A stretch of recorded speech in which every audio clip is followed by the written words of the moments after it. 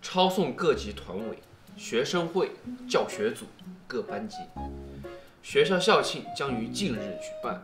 为了弘扬我校自强、团结、奋进、活泼之精神，特此举办第一届校园宣传片大赛。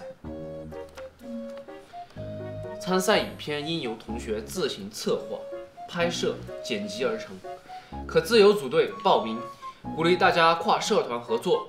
本届大赛主题为“劝学”，以贴近生活、艺术性高、主题向上、利益明确、传播度广、宣传性佳为评判标准。三等奖五部，奖学金一千元；二等奖三部，奖学金两千元；一等奖一部，奖学金三千元。哇，三千块，那可是三千块啊！我们要发财了，我们要发财了！咱要是三等奖的话，咱们每人一百四十二。咱要是二等奖的话，咱们每人二百八十五；咱要是一等奖的话，咱们每人四百二十八。这个咱拍不拍？整，必须整！你那不还有台 DV 吗？还好上次没给你砸了。咱们这次要连中三元，冠亚季军给他包了。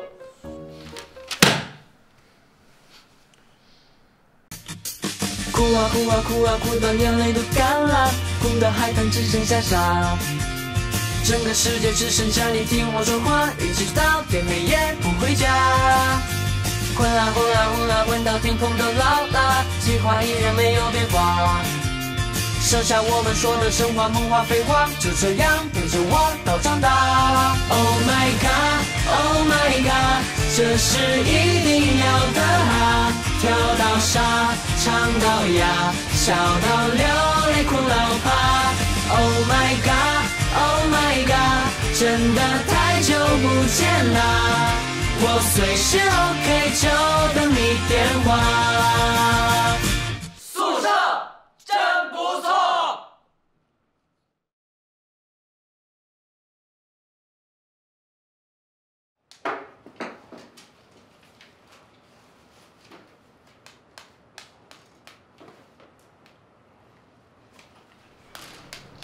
咱们什么时候开始写作业啊？你做呗。你做？他做，让他做。为什么让我做？你成绩好，你做，你做。你做吧。哎，凭什么呀？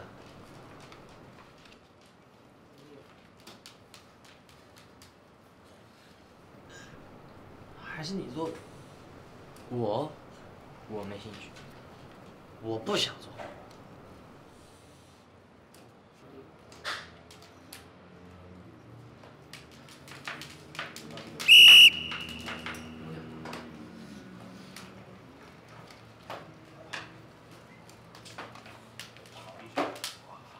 学习比赛，今天起正式开赛。这样拍的话，我始终感觉差点什么。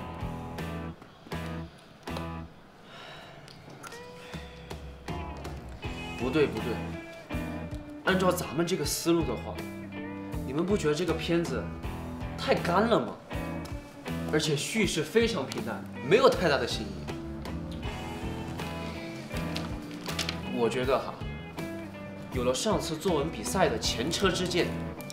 咱们这次应该要从比赛的举办意图出发，主办方的诉求是什么？评委的喜好风格又是什么？所谓知己知彼，百战不殆，这一点大家都认可吧？嗯。先把这些调查清楚，咱们再根据评委的审美精准出题，主题该拔高就拔高，该上扬就上扬。虽然说要源于生活。但是咱们还是要高于生活。那我们怎么才能知道评委们的喜好风格呢？很有水平的问题。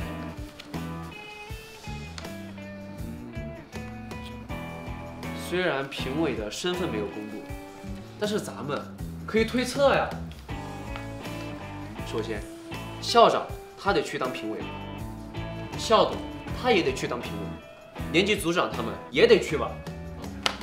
这三种人的平均年龄加起来是多少？五十岁往上了呀。这样，用户画像不就明晰了吗？哦，再综合分析我在各个平台收集到五十岁以上的人最喜欢看的视频，我们的拍摄内容不就明确了吗？是这样。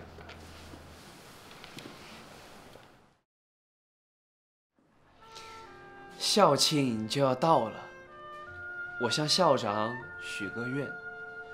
校长说：“我可以让你许个愿。”我说：“那就让咱们学校的自习室、图书馆能够天天开放。”校长说：“不行，只能四天。”我说：“春天、夏天。”秋天，冬天。校长说不行，三天。我说昨天、今天、明天。校长说不行，两天。我说白天、黑天。校长说不行，只能一天。我说行。校长茫然地看着我说：“哪一天？”我说：“每一天。”校长哭了，他看着我说：“那就让咱们学校的自习室、图书馆每天都二十四小时开放。”祝愿看到这条视频的朋友们。学习顺顺利利，听课醍醐灌顶，考试如有神助，从此爱上学习。动动你们的手指，转发出去吧。怎么样？精准投放，传播度广，拿个一等奖，哎，不成问题。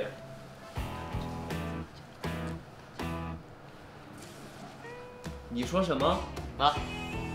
没有啊，我觉得很好啊。就是有一点，这个你可能没考虑到。哪一点？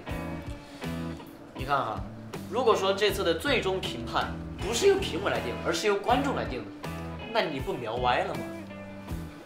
啊？就是咱们的片子不能光瞄着评委的口味来，还得是年轻人。如果说在年轻人之间反响好了。那就算咱们这部片子不符合评委的喜好，评委照样得给咱们颁奖。那具体怎么？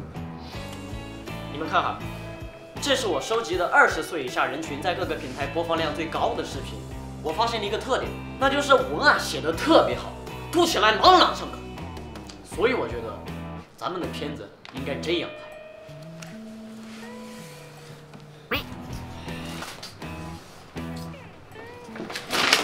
呦呦，这背成功嘛？单词都背不下来，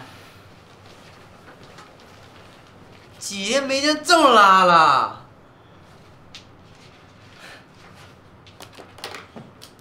今天你笑我人穷志又短，明天我笑你单词听写不过关，现在你笑我背词流冷汗，以后我笑你成绩真的烂。此时你笑我还在背单词，结果上课又听不懂生词。同学用功，你在说风凉话。考试一看得分，你全都得过。平日不用功，考试全放空。复习不忘预习，才能融会贯通。Remember my name，左臂成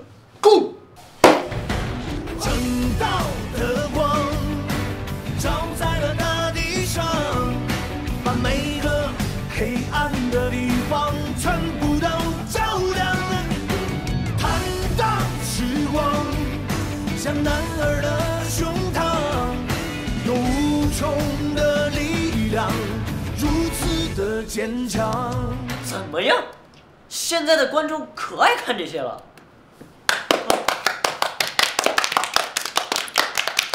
那个我说两句啊，成功这个片子创意是不错，但是对于热点的追逐可能太流于表面了。我们只看到了对热点视频的盲目模仿，但是这些视频的内核并没有摸透。啥意思？这种类型的视频传播度很大，但是在艺术性上就稍逊一筹。其实你只要仔细分析一下他们的剧本，就能发现，他们大部分的剧情都是影视剧的简化版本。既然我们是奔着一等奖去的，那么要拍就拍大的，拍一部真正的艺术品出来。那什么是艺术性呢？艺术就是反转，一次两次那都是小儿科。真正的艺术品至少要反转三次以上，反转越多，观众越乐呵；关系越乱，甲方越爱看。哦转折越陡，收视越往上走。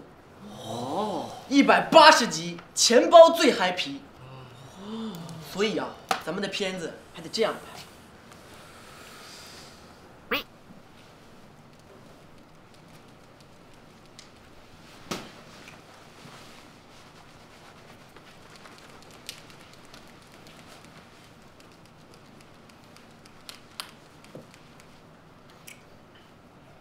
选 C。放肆！这是高一的一元二次不等式方程，岂容你一个勤工俭学的臭小子在一旁过当？这儿没你说话的份儿。何事如此聒噪？公民补课老师，让老师见笑了。我们三人被一道一元二次不等式方程所难住，这小子竟不自量力，随口说了个答案。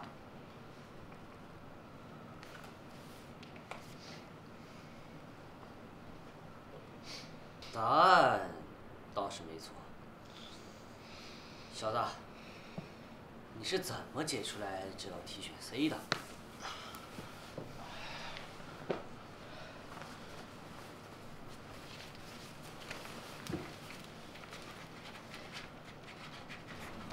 反了！目无尊长，你还敢做题？山鸡敢配凤凰，还不速速向补课老师道歉？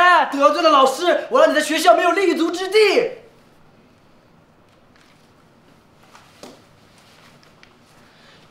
仗势欺人，有眼无珠。我们苦学三年，还想着同学之间互帮互助。哼，这皮鞋我不擦也罢。这解法是数轴穿根，空有此法，一元二次不等式弹指可灭。你根本不是一个勤工俭学的学生，你是学霸。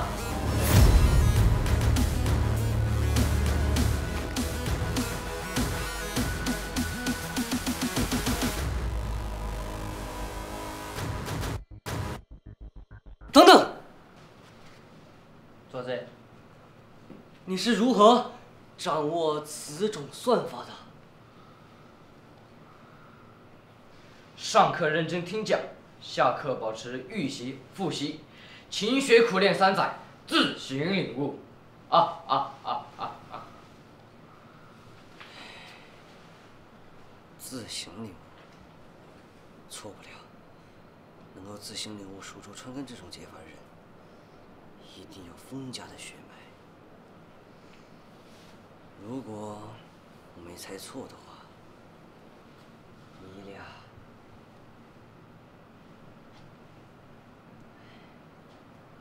是亲兄弟。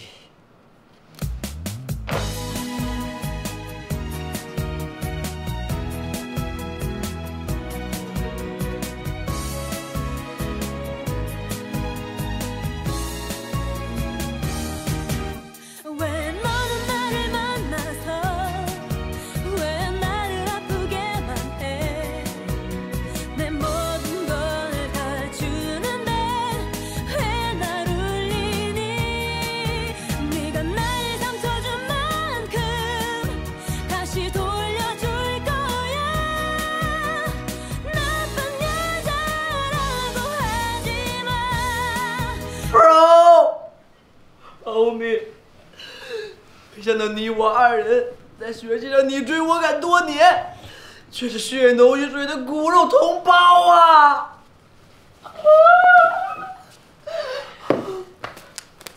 天意啊、天意！少爷，这是您的体检报告，你也是看。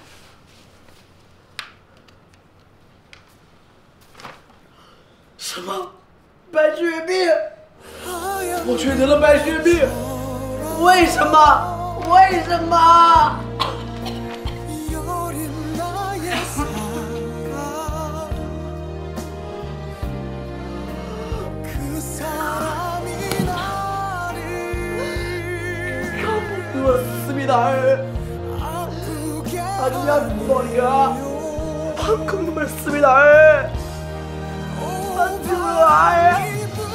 좋아.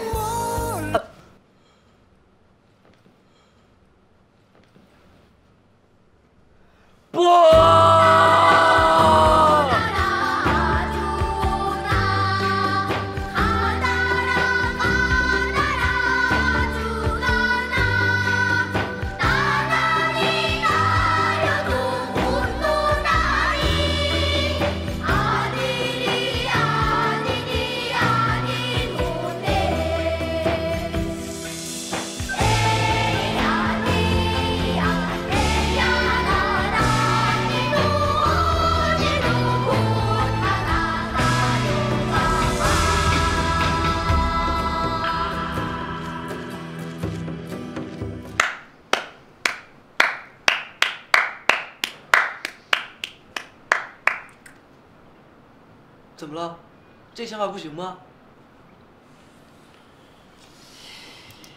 嗯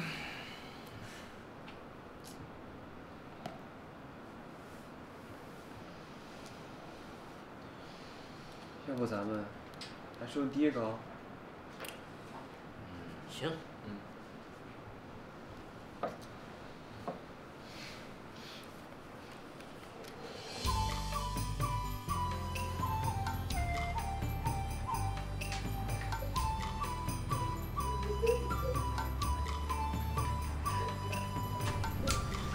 呀呀，这不毕成功嘛！结果上课又听不懂单词。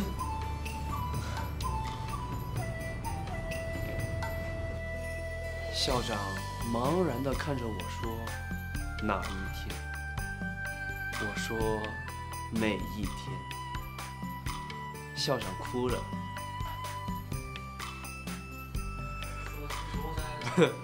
啊，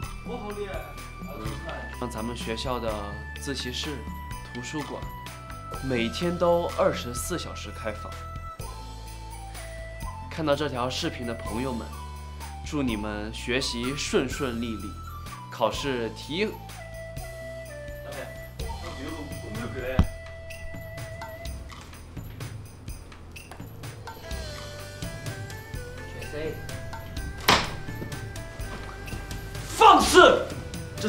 的一元二次不等式方程，岂容你一个前空解决错了？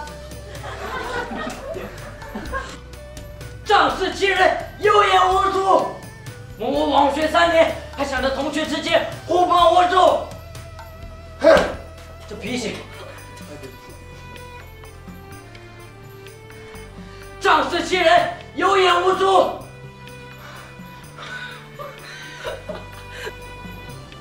仗势欺人，有眼无珠。我我枉学三年，还想着同学之间互帮互助。